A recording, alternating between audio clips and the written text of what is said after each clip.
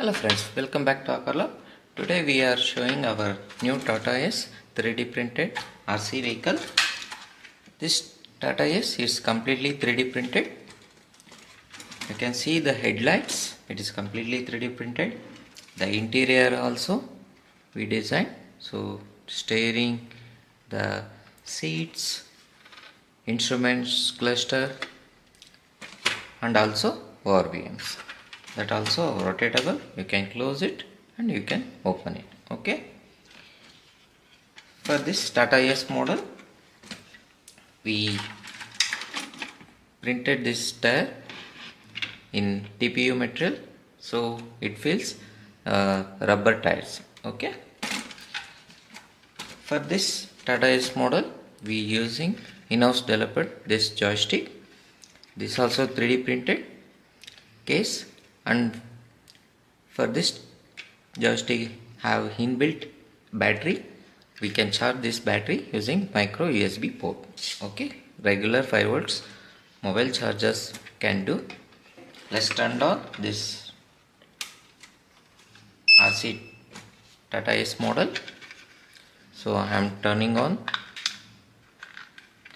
So once the joystick turned on and the Tata Ace receiver model pays the signal then headlight blinking will goes off. Okay? So let's start from the headlight. I am pressing headlight. So you can see the headlight is turned on. And the same again the headlight goes off.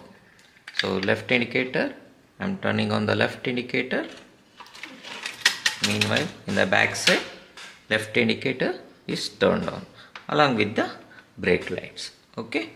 I'm turning off the left indicator. I'm turning on the right indicator. So right indicator is turned on and in the front side also. Okay? So i'm turning on the right indicator. So we press the RN button.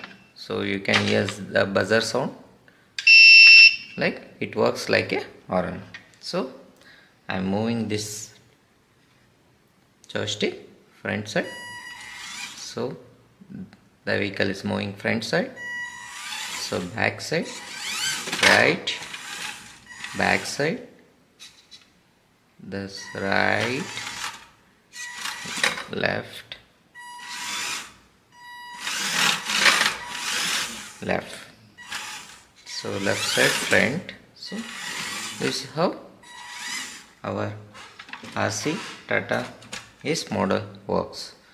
If you like this RC vehicle it is 3D printed please subscribe our channel and hit the bell button for future notification. Thank you